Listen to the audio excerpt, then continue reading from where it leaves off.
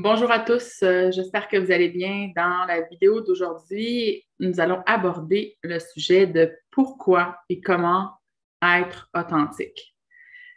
L'authenticité, c'est une denrée rare euh, sur cette euh, planète et le respect de soi-même également. Dans cette vidéo, on va voir pourquoi et comment être authentique est un aspect primordial à intégrer sur votre parcours de retour à soi avant qu'une union soit possible. On va voir également comment que le manque d'authenticité, autant envers soi qu'envers l'autre, et le manque de respect de soi sont, liés à la crainte. Donc, je vous invite à rester euh, jusqu'à la fin parce qu'à la fin, je vais donner des informations plus spécifiques euh, à la relation flamme jumelle mais c'est important de comprendre que ce que je vous partage, l'observation que vous allez en faire et surtout l'application que vous allez en faire au quotidien, parce que c'est bien de comprendre les choses, euh, mais de les appliquer, c'est vraiment euh, le niveau le plus, euh, le plus élevé pour conscientiser, parce que c'est quand on applique au quotidien qu'on conscientise réellement. Avant de débuter, j'aimerais porter votre attention sur le prochain webinaire sur le couple conscient. Donc, je vais en fait parler dans ce webinaire-là du couple finalement qui est planétaire, le couple qu'on a connu jusqu'à maintenant, qui est un couple laboratoire, et je vais faire la transition. Donc, quand on est justement dans cette période où est-ce qu'on sait que ça ne vibre plus avec nous, les anciens schémas, mais qu'on n'a pas tout à fait intégré les nouveaux codes, les nouveaux schémas d'un couple nouveau, euh, finalement, eh bien, vous allez, euh, dans ce webinaire-là, comprendre pourquoi qu'on avait ce, modèle-là ancien en place, comment on a vécu à travers ça euh, le couple, comment on se retrouve en tant qu'être transitif et vers quoi vous êtes appelé finalement euh, à vous en aller dans euh, vos relations qu'on appelle finalement le couple conscient. Donc, euh, les détails sont sous la vidéo. La relation flamme jumelle vous a éduqué vers cette relation de couple conscient-là qu'on va voir de plus en plus euh, être mise en place. Donc, euh, votre parcours vous a instruit vers un nouveau couple. Votre partenaire de la transition, qui est votre flamme jumelle, est programmé pour soulever tous les anciens schémas que vous portiez de domination et de soumission. En fait, la programmation de l'âme et de l'ego. Donc, revenons euh, au respect qui a été dans cette dynamique de domination-soumission tout au long du cycle d'incarnation, mélangé souvent avec la crainte. Pendant tout le cycle d'involution, on a cru respecter autrui alors qu'on le craint. On, on a cru également se respecter alors qu'on a craint les représailles de l'extérieur. Je vais en parler plus spécifiquement, euh, comme je vous disais, de l'authenticité, euh, comment c'est important d'être authentique avec, vous-même, mais également avec votre jumeau. Mais pour l'instant, euh, observons l'authenticité dans toutes les relations, que ce soit amical, avec vos enfants, avec des collègues de travail, avec votre famille, avec votre patron, avec des voisins, avec un inconnu au supermarché, ou même, comme je l'ai dit, avec soi-même. Cette loi du respect, de, se respecter avant de respecter les autres, moi ou l'autre? C'est la question à se poser. Bien entendu, cette loi, pour que cette loi puisse paraître évidente pour certains, elle ne l'est pas pour la grande majorité des gens. C'est souvent le respect des autres qui est privilégié dans la vie et dans toutes les formes de relations. On n'entend presque jamais dire respecte-toi, mais on entend fréquemment dire tu dois apprendre à respecter autrui. Le respect des autres est une bonne chose, mais est-ce vraiment possible si une personne ne se respecte pas elle-même? Lorsque nous nous respectons personnellement, nous nous aimons et nous connaissons notre valeur, nos capacités et nos limites. Une personne qui se respecte n'est pas sensible aux insultes et n'a pas besoin de justifier ses pensées, ni envers elle, ni envers les autres. Elle n'a pas peur du neuf, de la vie ou de l'avenir. Elle n'a pas besoin que les autres soient comme elle ou elle, d'être comme les autres. Elle est bien dans sa peau et dans sa tête. Elle n'attaque pas les autres en gestes ou en paroles. Elle ne juge pas et ne juge pas les autres car elle n'a pas besoin de les rabaisser pour se sentir supérieure. Elle vit sérieusement mais ne se prend pas au sérieux. Elle sait rire, s'amuser, travailler et se reposer. Il est impossible d'être authentique sans respect de soi et cela implique de se connaître en profondeur. Le respect et la crainte. Le respect de soi, peu de gens savent ce que c'est. Depuis toujours, on a mélangé le mot respect et le mot crainte. Dans la majorité des systèmes d'éducation, ce n'est pas le respect qui est enseigné, mais la crainte. La crainte de déplaire, la crainte de ne pas faire bien les choses, la crainte de déranger, la crainte d'être une fatigante avec les collègues de bureau, avec peu importe, au lieu du respect de soi. Et ça m'amène à vous parler des sous-lois du respect. Posons-nous la question suivante. Pouvons-nous respecter quelqu'un qui ne se respecte pas lui-même? En d'autres mots, qui n'est pas respectable? Bien, la réponse, c'est non. Une personne qui ne se respecte pas est dans la crainte, donc n'est pas authentique. Mais elle peut sembler l'être dans le respect uniquement parce qu'il craint les conséquences de se respecter. Donc, si je ne me respecte pas, je ne peux pas être respectable. Si je ne suis pas respectable, je ne serai pas respecté. Si je suis en incapacité de me respecter, c'est parce que je suis dans la crainte et donc je ne suis pas authentique. Pour se respecter, il faut avoir confiance en soi et s'aimer. Et pour respecter les autres, il faut se respecter d'abord. Et quand on parle de se respecter et s'aimer et avoir confiance en soi, c'est d'être en capacité de mettre ses limites et de s'affirmer. Tout ça va ensemble. C'est comme un gros puzzle. Parmi les, les, problématiques du manque de respect personnel, il y a la culpabilité, l'auto-jugement, l'autocondamnation, la dévalorisation, le médiocrisme, finalement, envers soi-même. Toutes les formes de complexe d'infériorité comme de supériorité sont des effets de manque de respect envers soi-même. C'est qu'est-ce que j'ai craint? Le jugement, elle aurait pensé que je ne suis pas humaine, que je ne suis pas gentille, que je ne suis pas bienveillante, pas à l'écoute. J'ai craint son jugement. J'ai craint son regard. J'ai craint son autorité et sa domination. Je l'ai laissé me dominer, ou plutôt j'ai laissé les craintes me dominer. La loi de je dois me respecter avant de respecter les autres est essentielle à tout être humain qui veut vivre heureux. Allons voir qu'est-ce que se respecter. Je dois me respecter, ça veut dire quoi? Eh bien, ça veut dire d'être à l'écoute de soi, d'observer toutes nos émotions, donc, ça implique d'observer également les pensées, parce que nos pensées nous amènent un grand nombre d'émotions. Celles-ci sont le reflet de notre constitution intérieure. L'émotion n'est pas une pensée, mais bien son expression dans le corps. Les gens parlent quelquefois de bonnes et de mauvaises émotions. C'est vraiment pas comprendre les émotions et c'est polarisé. En fait, il n'existe pas de bonnes ou de mauvaises émotions. Une émotion, c'est une expression neutre de notre pensée dans notre corps. C'est plutôt la façon dont elle s'exprime qui peut avoir un effet positif ou négatif sur nous. Même une émotion très, très forte, disons que je suis fan d'une équipe sportive, puis que j'ai il, gagne euh, un tournoi super important, puis que je m'excite à être super contente, ben si j'ai des problèmes cardiaques, euh, ça se pourrait que j'ai euh, je, rentre à l'hôpital ou que je fasse une crise de cœur. Donc, pourtant, c'était pourtant une émotion positive, mais elle peut avoir un impact négatif.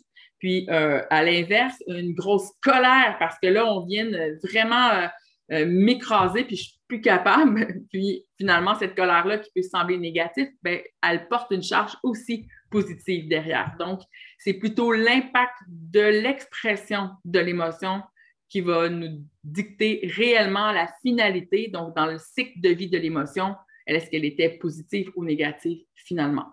L'expression de la pensée dans le corps et l'émotion. Cette expression est souvent retenue par le refus de notre pensée ou de nos émotions. Plus cette expression est retenue, refoulée, dit certains, plus elle a de la chance d'être dommageable pour nous. C'est beaucoup plus ça qu'il faut voir. Est-ce que je la vis? Puis quand je vis cette émotion, qu'est-ce qu'elle m'amène? Parce qu'une émotion est toujours un messager. Ce n'est donc pas la sorte d'émotion qui peut être mauvaise, mais la façon dont on exprime cette émotion dans la vie. on a le droit d'être déçu, d'être heureux, d'aimer, d'être aimé, d'haïr. C'est parce qu'on n'exprime pas toujours au fur et à mesure ces états qu'on finit par avoir des émotions problématiques. Ça explose, comme on dit. Plus on refuse ce que nous sommes, plus nous exposons au malheur ou à la maladie. plus nous vivons immédiatement dans l'instantané ce que nous sommes, plus nos émotions sont sainement exprimées dans notre corps et dans notre vie. C'est le refus de ce que nous sommes qui rend certains de nos émotions néfastes, mais pas ce que nous sommes. Nous ne sommes pas ces émotions. Se respecter, c'est aussi se connaître en profondeur, connaître ses limites, connaître le sentiment de non-respect et être à l'écoute de ce sentiment-là. Pas nier finalement ou acheter la paix. C'est aussi exprimer nos besoins, nos limites de manière claire. Être bienveillant, être aimante envers soi, de savoir qu'on n'est pas parfaite, de ne pas s'exiger d'être parfaite et de savoir avec certitude qu'on fait toujours de notre mieux. Je ne suis pas parfaite et je fais ce que je peux, du mieux que je peux, à chaque instant. Combien de fois on entend des expressions comme avoir su, si j'avais su, c'est pas de ma faute, je ne savais pas. Qui, de bonne foi, agit mal envers lui-même ou ceux qu'il aime? Personne. Nous faisons toujours ce que nous pouvons. Nous donnons toujours notre maximum, quoi que nous en pensons ou quoi qu'on on nous en dise. Nous ne commettons pas vraiment d'erreur. Si nous avions su, nous ne l'aurions pas faite, n'est-ce pas? Qu'est-ce qu'une erreur, sinon se faire jouer par la vie elle-même? Il se peut qu'on n'ait pas l'énergie pour faire une chose, mais ça, c'est indépendamment de notre pouvoir. Est-ce que vous gérez à ce point votre énergie? Non, pas pendant un long moment. On voudrait le faire, mais on ne peut pas le faire. Des fois, c'est faute de volonté aussi. Il y a comme une force intérieure qui nous empêche. Où est-ce qu'on peut trouver cette volonté? Nulle part. Nous faisons ce que nous pouvons. Nous ne sommes pas parfaits. Donnez-moi de la volonté, puis je vais, je vais vous soulever les montagnes. En attendant, je peux faire que mon possible, aussi petit ou grand soit-il. Donc, encore, le respect de soi, c'est aussi avoir un haut respect de soi. C'est prendre soin de notre corps, de l'aimer profondément parce qu'il nous permet de vivre, de connaître le monde, puis de l'explorer, puis de nous exprimer. Je donne du repos dont j'ai besoin du point de vue mental, émotif et physique. Je m'occupe de moi. C'est ça, être authentique avec soi avant tout.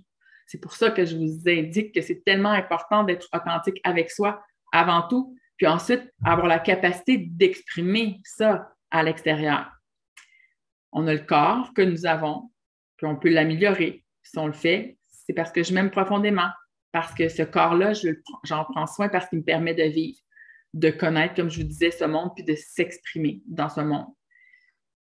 Notre corps, oui, le reflet de ce que nous sommes, mais nous ne sommes pas ce corps comme nous ne sommes pas les émotions. Ne pas l'aimer, c'est nous rejeter, pas aimer notre corps, ne pas aimer la matière, c'est de rejeter notre corps, rejeter la matière.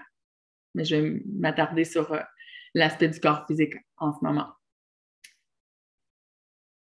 La relation qu'on a au corps ou à l'aspect du corps peut changer d'une personne à l'autre, peut changer d'un pays à l'autre, peut changer pour plusieurs raisons finalement. On doit cesser de rejeter notre corps ou certaines de ses parties il faut bien sûr améliorer la qualité de notre corps pour rendre notre vie plus confortable, plus agréable, parce que quand on n'a plus finalement euh, de flexibilité dans notre corps, de souplesse dans notre corps, que les tissus commencent à, se cristalliser, euh, qu'on a moins d'amplitude, eh bien, on va être mal dans ce corps-là. Donc, il faut cesser de se juger, de se comparer entre nous, mais il faut vivre aussi et il faut vivre dans ce véhicule et d'en prendre soin. Donc, apprendre à relaxer face aux événements de la vie, face à notre corps, face à, tout ce qui peut euh, subvenir dans notre vie, parce que ce corps physique-là, il, absorbe énormément de chocs énergétiques, de chocs euh, émotionnels, de chocs physiques aussi. Donc, s'occuper de son corps sans en faire une maladie non plus, de bien équilibrer les choses. Ensuite, de se donner de l'amour, de l'attention, de la bienveillance. Vous ne trouvez pas ça bizarre que tout le monde peut être aimé par quelqu'un, même s'il ne s'aime pas lui-même, même ceux qui ont tout perdu leurs cheveux, même je connais des gens qui ont tout perdu leurs dents. il y en a qui n'aiment pas euh, ce qui ont de l'air, puis pourtant, il y a quelqu'un à quelque part qui les aime, un ami, leur femme, leurs enfants, de la famille. Certaines femmes n'aiment pas leur sein. Puis il y a toujours un homme qui va, eux, lui, les aimer. Tout ce qu'on n'aime pas peut être aimé par quelqu'un d'autre. Qu'y a-t-il de différent dans leur vision par rapport à nous? Dans le fond, comment se fait-il qu'une autre personne accepte mieux que nous des parties de nous? Donc, ça, ça porte à réflexion. Également, toute l'image de certains autres pays, les standards ne sont pas du tout les mêmes. Dans certains pays, les femmes bien enveloppées sont les plus belles, puis ailleurs, c'est l'inverse. Certaines femmes mangent pour se sentir belles, et donc en Grèce, et d'autres vont tout faire pour maigrir. Et il y aura toujours un homme qui va aimer une femme plus enveloppée et un autre homme qui va aimer une femme qui est moins en chair. Donc, s'aimer, c'est s'accepter comme nous sommes et améliorer parce que c'est intelligent, c'est utile d'améliorer notre corps ou de le garder en santé. Je me donne du repos du point de vue, comme je disais, émotif, mental, physique, mais également, je prends soin de mon corps physique, mon corps émotionnel et mon corps mental. Se respecter, s'aimer, c'est aussi se donner ce qu'on mérite. Je pense à me récompenser, à m'encourager, à me choyer. Voyez aussi tous les moments où ce que vous vous rabaissez. Ah, tu n'as pas réussi, tu n'es pas bonne, tu n'y arriveras pas, tu es, tellement niaiseuse, tu réussis jamais ça, tu as échappé ça, faut être conne pour échapper telle chose. tous les mots subtils qu'on utilise au quotidien pour se rabaisser, on ne ferait pas ça si on s'aimait. Puis c'est d'être authentique avec soi, d'observer que c'est vrai que je me dis des pas beaux mots. C'est vrai que je me tape sur la tête alors que je ne devrais pas, je l'ai échappé. C'est pas grave, c'est pas la fin du monde. Les choses ont l'importance qu'on leur accorde. Une personne qui se respecte s'occupe d'elle à tous les niveaux. Elle passe avant tout parce qu'elle sait que si elle n'est pas bien, elle ne pourra pas être à la hauteur de ses possibilités. Un parent, par exemple, qui est fatigué, ne peut pas être un bon éducateur un employé ou un patron d'entreprise qui ne prend pas le temps de, se reposer, bien, il, peut pogner les nerfs à tout moment. Un enfant qui est fatigué, ça ne peut pas être un bon élève. Il faut veiller à se donner le repos nécessaire et seules les personnes qui se respectent ou qui sont malades le font. Moi, je n'attendrai pas d'être rendu à ce point, malgré que je l'ai fait pour le comprendre. Donc, on se donne ce qu'on mérite au lieu d'attendre d'être malade pour prendre une journée de repos, puis, puis de rien faire, ou bien d'aller juste prendre une journée de repos pour aller au spa, aller à la plage, aller marcher dans le bois. Attendez pas d'être malade. Faites-le tout de suite. Soyez d'avance, faire de la prévention. On pense à se récompenser, à s'encourager et à se choyer. Combien de parents vont aller magasiner pour acheter quelque chose pour leur enfant? Ils reviennent avec toutes sortes de choses mais ils n'ont pas pensé à penser à eux. On va pourtant dire aussi à nos enfants, ça serait mieux que tu fumes pas. Prends pas trop de boissons gazeuses, il y a trop de sucre dans ça. Mange pas trop de chocolat. Trois biscuits, c'est assez. Mais nous, on va la dépasser, cette limite-là. Pourtant, on ne dirait pas le même conseil à nos enfants ou à un ami parce qu'on l'aime. Est-ce qu'on le fait pour nous aussi? Et je vous parle de ça, je sais que le lien entre l'authenticité et le respect de soi, il est incroyable, beaucoup plus profond que vous pouvez penser. Parce que plus je suis à l'écoute de moi, plus je suis authentique. Plus je me respecte, plus je me connais, plus je m'aime, plus je suis authentique. Et ça se fait toute seule. J'ai même plus besoin d'y penser, d'y parler. Si je suis habituée maintenant d'être à l'écoute de moi, quand j'ai froid, ben j'ai froid, je n'ai pas besoin de me justifier. Je vais m'occuper du fait que j'ai besoin de me couvrir alors que si je ne suis pas à l'écoute de moi, je vais geler, je vais souffrir de ça, puis ça peut aller très loin. Puis éventuellement, euh, quelqu'un va me dire Ça va, tout est beau. Oui, oui, tout est beau. Je ne suis pas authentique. Je suis en train de mentir. je suis en train de nier des besoins que j'ai. Pourtant, en plus, la personne est devant moi et elle me demande si tout va bien. Et j'ose même pas être à l'écoute de mon besoin, encore moins pouvoir l'adresser à l'autre. Donc, ça nous démontre que souvent, on fait aux autres ce qu'on n'est même pas capable de s'offrir à nous-mêmes. Ce n'est pas question ici d'en faire euh, moins pour ceux qu'on aime, de ne plus leur offrir du tout euh, notre support, notre amour, mais du moins pas dans la majorité des cas, mais il faut se traiter aussi comme on traite notre entourage. Ensuite, dans le respect de soi, dans l'amour de soi, c'est de s'exprimer librement, sans attirer les problèmes autour de soi, parce qu'on se souhaite la paix, la tranquillité et le calme. On se fout la paix avec toutes ces problématiques-là aussi à l'extérieur. C'est pas qu'on s'en occupe plus, mais si je m'observe en train de m'en faire avec quelque chose qui se passe où est-ce que je n'ai aucune incidence, je ne suis pas en train d'aider l'humanité, justement. C'est plus en m'occupant de moi. Ici, je cultive le bien-être. Ici, si tout le monde s'occupait de son lopin de terre, justement, à bien l'entretenir, à bien se connaître à l'intérieur, à faire face à l'authenticité, à s'accepter, à se supporter, si on faisait tout ça, euh, on n'aurait pas la même, réalité dans le monde de s'exprimer librement sans attirer euh, des problématiques. Une personne qui se respecte ne passe pas sa vie à cacher ce qu'elle est, pense et vit. Elle a une opinion, des idées, des réflexions, une expérience et elle s'autorise à l'exprimer. Elle sait s'ajuster et ne se lance pas dans des futiles guerres d'ego. Au contraire, elle participe pleinement à la vie qui l'entoure, mais n'entre pas dans des guerres d'ego qui est une perte de temps et d'énergie incroyable. Et également, le manque d'authenticité, vous allez vous apercevoir que c'est une perte d'énergie incroyable parce qu'il faut cacher, il faut voiler, il faut finalement, on est en souffrance, comme je donnais l'exemple tout à l'heure, que j'ai froid, je suis en train de geler, je m'en occupe pas, je, comme je combats, je combats, même si on me demande tout va bien, oui, oui, oui, tout va bien. Je dois encore lutter pour faire comme si tout allait bien, garder le sourire alors que je suis en train de geler mais c'est moi, à travers ça, qui perds énormément d'énergie parce que je ne suis pas dans l'authenticité. J'ose pas exprimer librement. Non, ça va pas bien, j'ai froid, je suis complètement frigorifiée. Ah, mais on va trouver quelque chose pour. Euh, si j'avais osé ben, être à l'écoute, oser exprimer, je serais tout de suite dans le respect de moi, je serais tout de suite dans l'authenticité. Et c'est impossible d'être authentique avec l'autre si je ne le suis pas avec moi avant tout.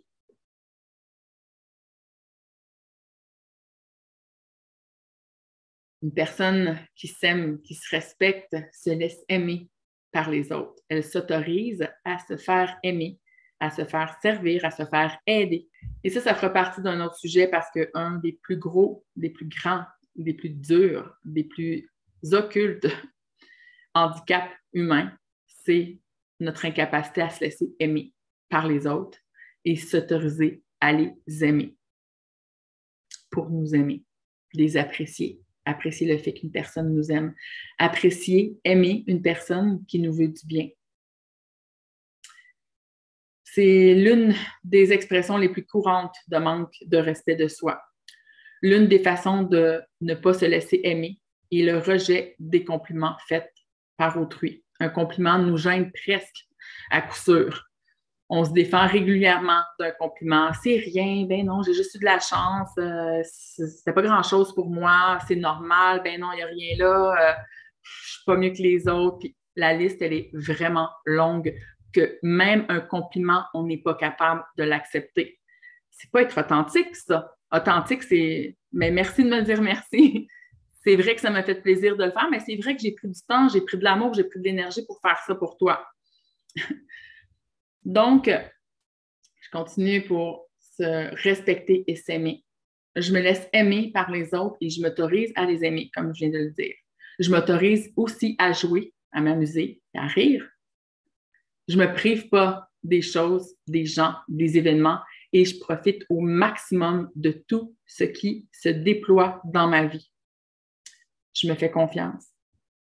J'apprends à être ma meilleure amie on doit s'autoriser à communiquer notre amour aussitôt que le besoin s'en fait sentir. Il ne faut plus attendre parce qu'on perd des beaux événements dans notre vie. Et ça, ça commence par soi, de se remercier d'être là. Je te remercie d'être présente. C'est pas facile ce que tu vis. C'est pas facile ce parcours. C'est dur. Il n'y a personne qui nous comprend pendant un long moment. On ne se sent pas supporté de personne. On a l'impression même que la vie nous a lâchés pendant un long moment on a souffert, on souffre énormément. Qu'est-ce que ce serait de se donner cet amour-là que vous voulez absolument aller porter à l'autre, à l'extérieur, alors que vous, vous êtes là en train de souffrir de ce manque d'amour, manque de compréhension, manque de bienveillance, manque de support, manque d'écoute? Est-ce que vous l'offrez à vous-même? Ça va jusque-là, le respect de soi. Un sourire. C'est quand la dernière fois que vous vous êtes souri à vous-même? Un toucher que vous vous touchez vous-même, que vous mettez de la crème, peu importe, les mains, les cheveux, de se masser la tête, peu importe, ou que vous vous offrez un massage, un encouragement. Un encouragement, on sait que ça fait du bien. Ça fait combien de temps que vous ne vous êtes pas fait un encouragement vous-même, un compliment, une caresse? On doit se laisser aimer, et ça, ça part de soi. Êtes-vous capable de vous aimer et de vous laisser vous aimer? Se donner le temps de contempler la vie aussi. Il y a certainement des choses magnifiques en entour de vous. Un lit qui est confortable, un chant d'oiseaux. Est-ce que vous vous laissez le temps de contempler? Vous vous permettez de vous offrir ce chant-là, cette douceur-là d'un tissu, par exemple, d'un matelas. Est-ce que vous vous autorisez à jouer, à vous amuser, à rire? Pour plusieurs personnes, il y a un âge pour rire et s'amuser. Puis il y a un âge pour être sérieux. Puis quand ils sont rendus dans le sérieux, c'est assez difficile de retourner de l'autre côté. Trop souvent, en devenant adulte, les gens ont arrêté de rire, de jouer et d'aller toucher, goûter au plaisir de la vie, finalement de jouir complètement. On s'empêche. C'est triste. Pourtant, on en a tous besoin. C'est une nourriture, c'est une source d'énergie et de vie. Pire, le refoulement inconscient de ce besoin amène plusieurs personnes à interdire aux autres de s'amuser autour d'elles. Ils sont vraiment chiants ceux qui s'amusent quand toi, tu es trop sérieux. Donc, en tant que parent, en tant qu'ami, voyez comment que ça peut vraiment venir vous taper sur les nerfs. Quelqu'un qui rit, qui s'amuse, qui profite de la vie, qui, qui est dans la simplicité, puis qui goûte, qui goûte à la vie. Une personne qui se respecte, qui s'aime, s'autorise à jouer et à rire et se nourrit de voir les autres en faire autant, participe avec les autres en en faire des journées où on rit, où on s'amuse, où on, on rigole. Puis quand on s'aime, on ne se prive pas de ces choses-là, des gens ou des événements, on profite au maximum. Je pense que beaucoup d'entre vous, puis je m'inclus dans ça, on l'a oublié pendant beaucoup trop longtemps. Surtout les chasers, parce qu'on a tellement voulu être des gens responsables, sérieux à leur affaire, on s'est complètement perdu. Parce que c'est pas juste un enfant qui a le droit à s'amuser, à rire, à, profiter de la vie. C'est quoi? Euh, c'est à partir de quand que ça s'arrête? À partir de quand que c'est une punition, la vie? Le fait de se priver de tout ça, en plus, passe souvent inaperçu. On peut avoir l'impression, l'ego se donne l'impression que c'est assez, qu'il a assez profité de la vie, maintenant, il faut être sérieux. Qu'on doit ne pas accepter de compliments, qu'on doit ne pas accepter de se faire dire finalement que ça suffit, que tu travailles fort, ça suffit, que tu sois dur avec toi. Même accepter un cadeau, ça devient difficile. Pourtant, c'est ça qui reste pour les personnes adultes, c'est de recevoir à ta fête ou à Noël, si tu chanceuse, un cadeau, puis même ça, on va trouver le côté de oh non, t'aurais pas dû. Tabarnouche, je me fais plus rien tout au long de l'année, puis la journée, une journée par année où on m'offre quelque chose, mon maudit ego qui veut pousser ce cadeau-là en plus.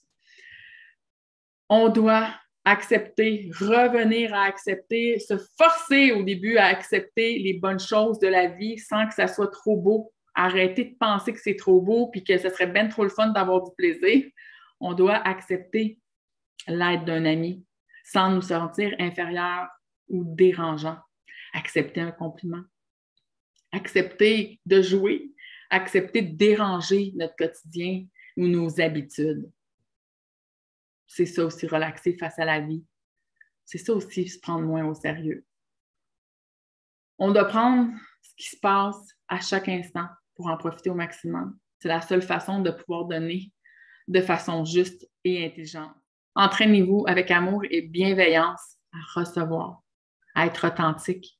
Ça fait aussi partie de l'authenticité dis-le, avoue-le que ça fait du bien finalement quand tu ris. Avoue-le, ça fait du bien quand on se fait aider. Sois honnête, authentique, réel avec toi. Ça part là. Quand vous n'êtes pas authentique, vous vous manquez de respect. Et vous êtes donc une personne non respectable. Vous le faites par crainte. Vous n'osez pas indiquer que vos limites ont été dépassées vous n'osez pas être réel. Pour terminer, voici quelques questions pour vous.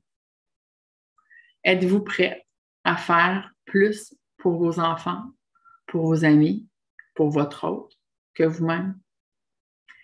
Aimez-vous plus votre hôte que vous-même ou les autres? Avez-vous plus de considération pour les autres que vous-même?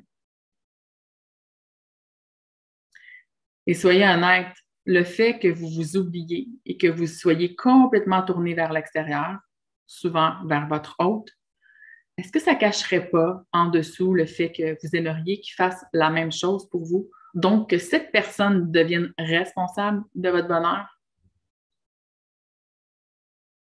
Est-ce qu'ils vous ont demandé d'en faire autant?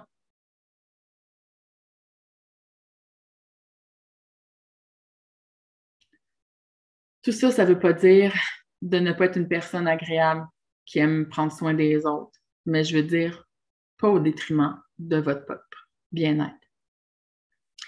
J'espère que cette vidéo vous aura éclairé parce que recevoir des énergies, des énergies des plans supérieurs, c'est d'avoir plus d'intelligence, plus de discernement. Parce que l'énergie, c'est ça, c'est de la lumière. La lumière, ça rayonne de l'intérieur. Je ne peux pas voir pour vous. Je peux vous partager ma vision, vous l'intégrez ou pas. Donc, euh, je vous dis euh, à bientôt.